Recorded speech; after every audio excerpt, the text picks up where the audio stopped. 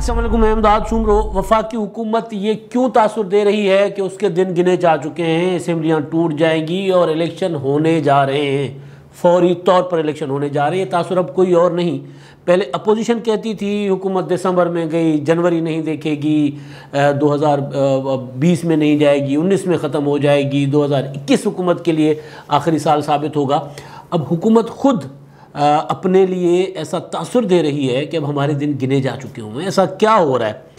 कल वफाकी काबीना का इजलास था और वफाकी काबीना के इजलास में वो जो इलेक्ट्रॉनिक वोटिंग मशीन का नया शोशा छोड़ा हुआ है वफाकी हुकूमत ने, उसके लिए और उसके अलावा मजमू तौर पर इंतबी असलाहत के लिए एक ऑर्डीनेंस जारी कर दिया ऑर्डीनेंस जारी करने का की मंजूरी दे दी गई। एक ऑर्डीनेंस की मंजूरी दे दी गई जो आगे चलकर जारी होगा।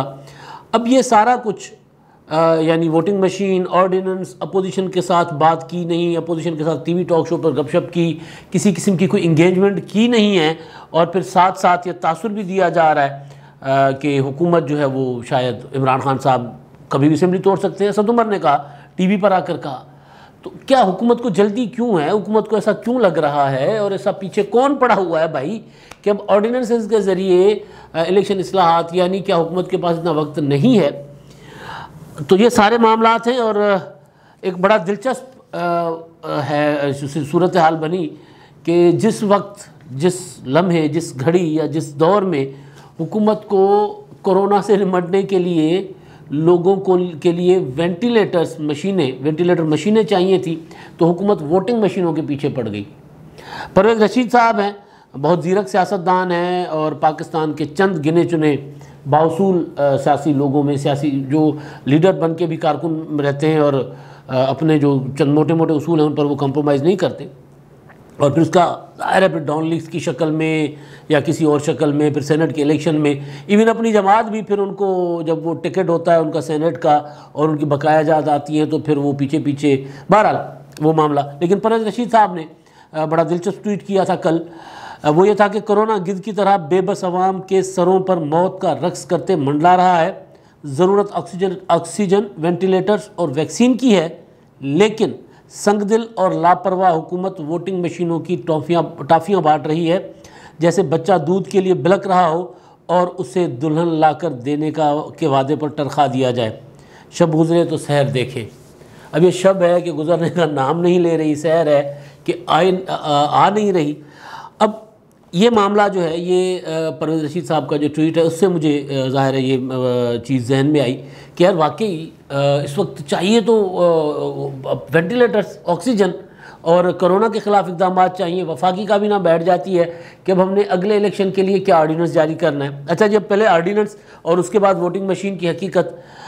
अब ऑर्डीनेंस जो है जो मैंने, मैं सवाल बार बार कर रहा हूँ कि भाई वफाकी हुकूमत को क्यों जल्दी है। किस चीज़ की जल्दी है? ऑर्डिनेंस की उम्र होगी 120 दिन। 120 दिन के बाद ऑर्डिनेंस जो है वो ख़त्म हो जाएगा और उस 120 दिन के दौरान अगर, यानी आज ऑर्डिनेंस अगर जारी किया, कल, परसों, तरसों, एक माह के अंदर, दो माह के अंदर 120 दिन मतलब चार माह चार माह के अंदर कौमी असम्बली या सेनेट का इजलास आएगा तो ऑर्डिनेंस उसमें पेश करना लाजमी होगा। ये नहीं हो सकता कि इजलास होते जाएँ, चलते जाएँ और आप ऑर्डिनेंस पेश ना करें और उसके बाद 120 दिन के बाद वो ऑर्डिनेंस लैप्स कर जाएगा, ख़त्म हो जाएगा। और फिर उसी मुद्दे पर अगर ये इंतबी असलाहत हैं तो इंतबी असलाहत पर हुकूमत सिर्फ़ दो ऑर्डिनेंस जारी कर सकती है बस, तीसरा ऑर्डिनेंस जारी नहीं कर सकती।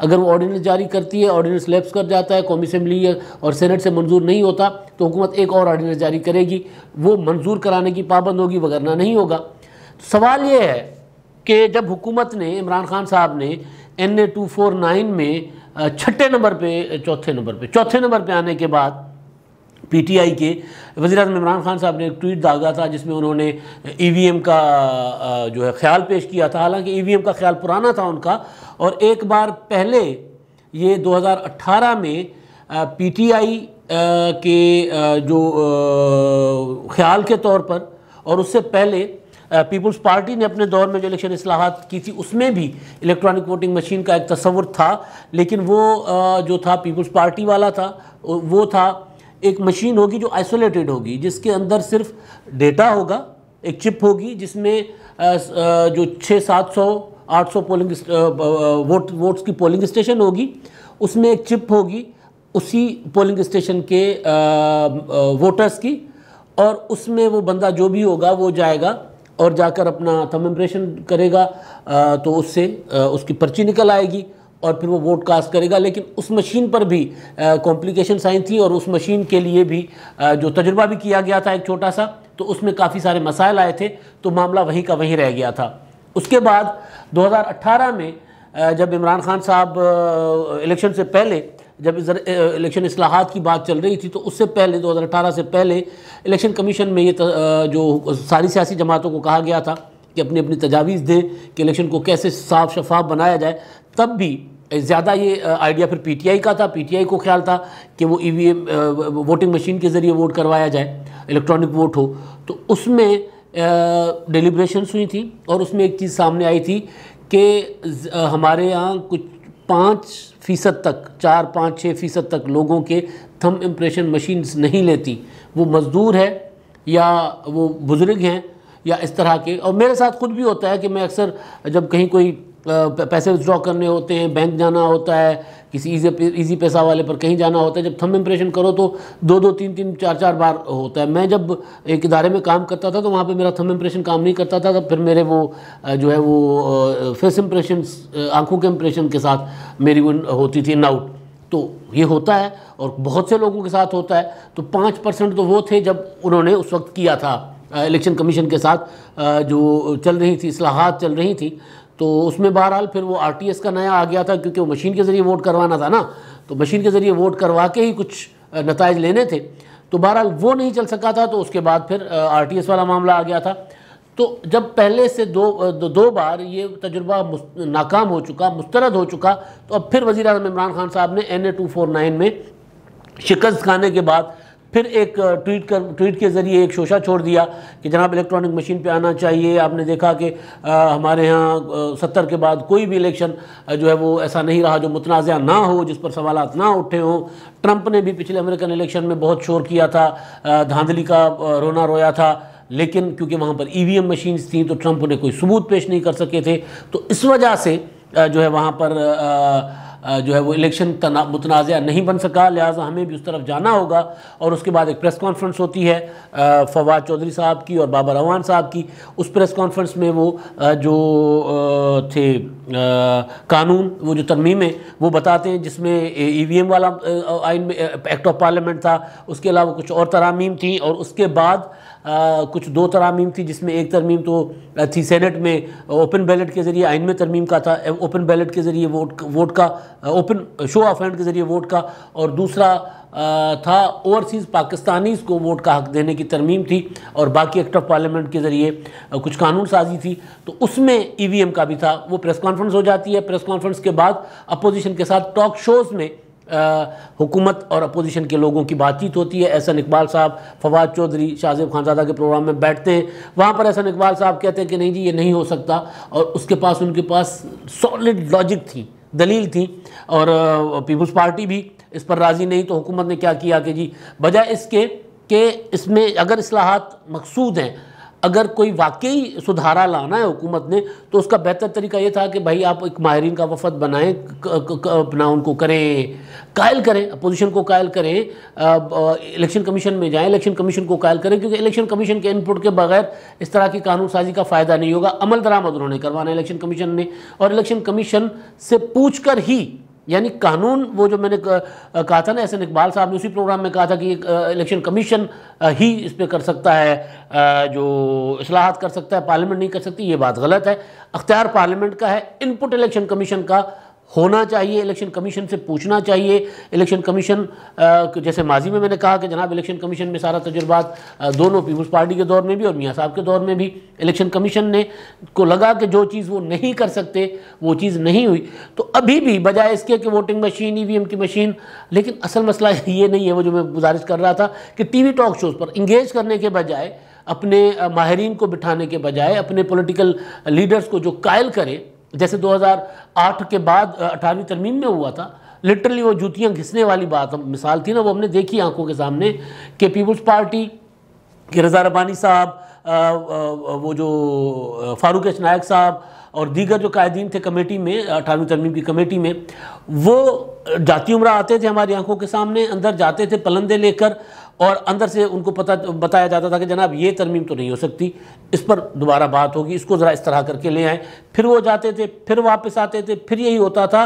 लेकिन पता नहीं कितने दर्जनों मीटिंग्स और मुलाकातों के बाद फाइनली अठारहवीं तरमीम हो गई। जब पॉलिटिकल पार्टीज़ बैठती हैं, अगर आपकी नीयत असलाहत की है तो फिर तो आप असलाहत कर सकते हैं। लेकिन अगर आपकी नीयत सिर्फ़ बलफ करने की है, अगर आपकी नीयत सिर्फ़ असम्बलियाँ तोड़ के तोड़ने की धमकी किसी को देने के लिए और फिर ऑर्डिनेंस ला कर ये दिखाने के लिए कि जनाब, अब हम तो जल्दी में हैं। हमें बहुत जल्दी है और हम, आप देख लें, अब हम कुछ करके दिखाएँगे।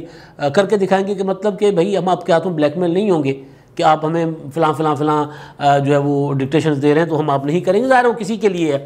तो वो बजाय ये करने के कि आप इंगेज करें अपोजिशन को। आप ऑर्डिनेंस लेकर आ रहे हैं तो फिर शक गुजरता है कि क्या जल्दी है। अब मैंने पता करने की कोशिश की कि क्या वाकई इमरान खान साहब जो है वो असम्बलियाँ तोड़ना चाहते हैं। तो पता चला कि जी इमरान खान साहब तो वज़ी अजम बने थे वज़ी अजम बनने के लिए। बाकी बाकी उनका कोई मकसद नहीं था।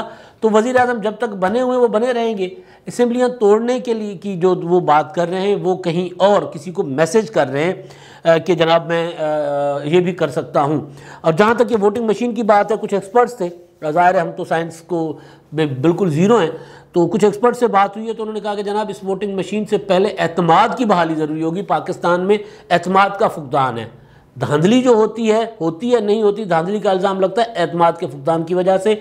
और दूसरा वोटिंग मशीन वो जो है, उसमें सबसे इंपॉर्टेंट चीज़ जो यकीनी बनानी है कि क्या वो सिस्टम फुल फुल प्रूफ होगा, क्या उसको कोई टेम्पर नहीं कर सकेगा, और टेम्पर होने के बाद वो ट्रेसेबल होगा, क्योंकि टेम्पर होना आसान है ट्रेस करना मुश्किल है, उसको, उसमें जो जो कुछ टेम्पर कर दिया गया, उसके बाद किसने किसको वोट डाला, और सबसे इंपॉर्टेंट चीज़ ये कि भाई वोटर की जो सीक्रेसी है कि किसने किसको वोट दिया, वो इस मशीन में कंप्रोमाइज़ होगी।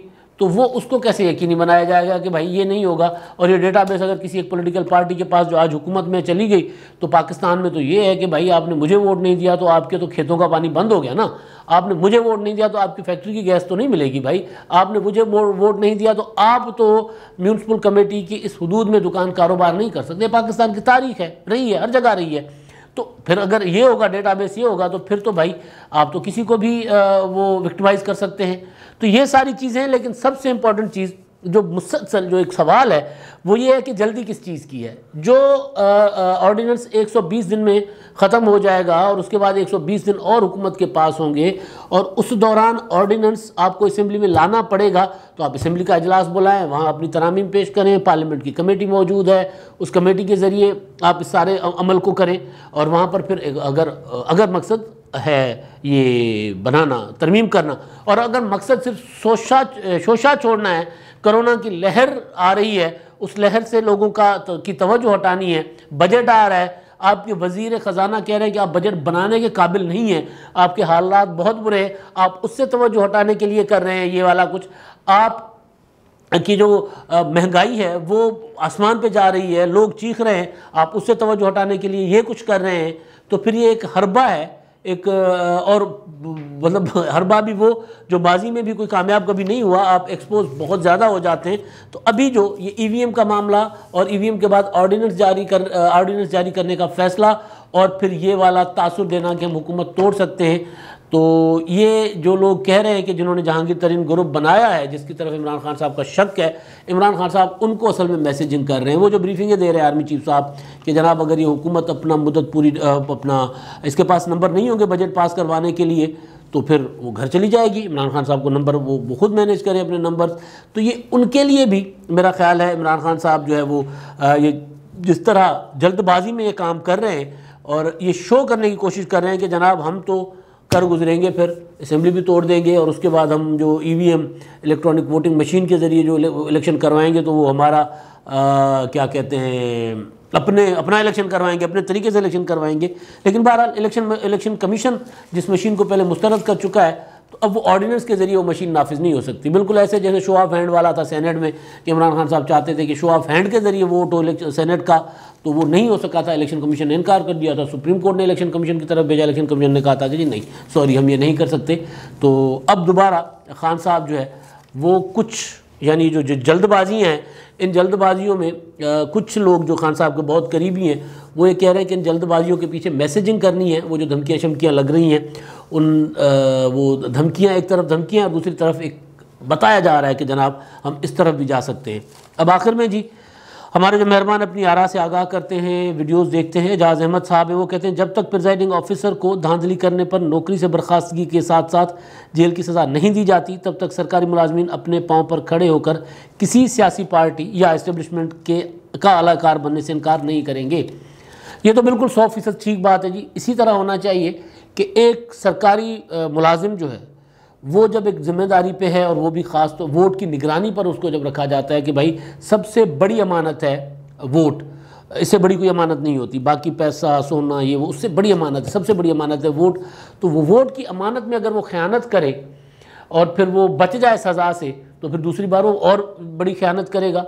चाहे वो किसी दबाव में कर रहा है, चाहे किसी के साथ मोहब्बत में कर रहा है, किसी पार्टी के साथ सियासी वफादारी में कर रहा है, जिस भी सूरत में कर रहा है, उसका हल यही है कि वो सज़ा का हकदार हो। आज तक मैंने, मेरा, मुझे नहीं याद, मैं जो 20 25 30 साल जो शूर के देखे हैं इलेक्शन हमने, उसमें मुझे मुझे नहीं ख्याल, मेरा नहीं ख्याल कि किसी को सज़ा हुई हो। इस तरह की कोई एक आध वाक़ इक्का दुक्का वाक़ हो। धांधली के इल्ज़ाम इतने लगते हैं और फिर साबित भी होता है कि हुई है, लेकिन धांधली करवाने में मुलविस जो लोग हैं, कुछ ग्रोह कर लेते हैं, कोई सियासी पार्टी के लोग जाते हैं, वहाँ जाकर ठप्पे छप्पे लगाते हैं, उनके साथ उनके खिलाफ कार्रवाई होना एक अलग मामला है। लेकिन एक रिज़ल्ट चेंज कर लेना, नतीजा वोट लोग किसी को दे रहे हैं, वोट निकल किसी का रहा है, इस अमल में मुलविस जो प्रिजाइडिंग अफसर हो, रिटर्निंग अफसर हो, या इलेक्शन कमीशन के जो स्टाफ हो, जो भी हो, वो अगर सज़ा नहीं पाएगा तो धांधली नहीं रुकेगी। आगाज़ यहीं से होना चाहिए। मोहम्मद शरीफ साहब है, वो कहते हैं पाकिस्तान मुस्लिम लीग नून के तायात कायद मोहतरम नवाज़ शरीफ साहब का बयानिया, अपनी जगह कायम है, मगर चूँकि N A two four nine के बक्सों की हिफाजत एक वक्ती ज़रूरत थी क्योंकि सिंध हुकूमत के आ, से ख़तरा था कि वो जला ना दे यानी वो बैलेट बॉक्सेस या बैलेट वो जो थैले हैं वो ना जला दे। ये जो फ़ौज का मुतालबा किया था मिफ्ता इसमाइल साहब ने कि फ़ौज के हवाले किए जाए जब तक वो हो काउंट रिकाउंटिंग हो तब तक वो प्रमिज़ की निगरानी या वो वोटों की निगरानी फ़ौज और रेंजर्स के हवाले की जाए। तो मियाँ नवाज़ शरीफ साहब के नैरेटिव के बिल्कुल उलट है। वक्ती तौर पर ही सही लेकिन नहीं। फ़ौज को मुलविस करना इस अमल में, सियासी अमल में, ना सिर्फ़ उस सियासी अमल को मुतनाज़ा बनाना है, बल्कि बजात खुद फ़ौज के इदारे को मुतनाज़ा बनाना है। फ़ौज चाहे बरह रास्त फ़ौज हो या रेंजर्स हो। सिविलियन एडमिनिस्ट्रेशन है, इलेक्शन कमीशन है, ये वो करें ताकि उनके अगर वो मुलविस होते हैं तो फिर उनको मुतनाज़ा बनाना कोई इतना बड़ा इशू नहीं होना उनको भी नहीं चाहिए। लेकिन वक्ती तौर पर क्या होता है? भाई, वक्ती कुछ नहीं होता। उसूल उसूल होता है, उसूल मुकम्मल होना चाहिए। और मुझे यकीन है कि मियाँ नवाज़ शरीफ साहब इस सारे मामले के बाद अगर कभी उनसे इस मामले पर बात कोई करेगा तो मियाँ नवाज़ शरीफ साहब, मफ्ता इसमाइल साहब की इस अमल की मजम्मत खुद करेंगे। नवाज़ शरीफ साहब अपने बयानी से नहीं हटे। मफ्ता इसमाइल साहब ने अपने फ़ायदे के लिए एक दरख्वास्त दे दी। शायद खाकान अब्बासी ने अगर, मगर चूँकि चुनाचे करके उनकी हिमायत ज़रूर कर दी। लेकिन मुझे यकीन है कि नवाज़ शरीफ साहब निंदा करेंगे, मजम्मत करेंगे इस अमल की। उनको ये अमल अच्छा नहीं लगेगा, जब भी कोई उनसे इस अमल पर सवाल करेगा। अब तक के लिए इतना ही। अल्लाह हाफ़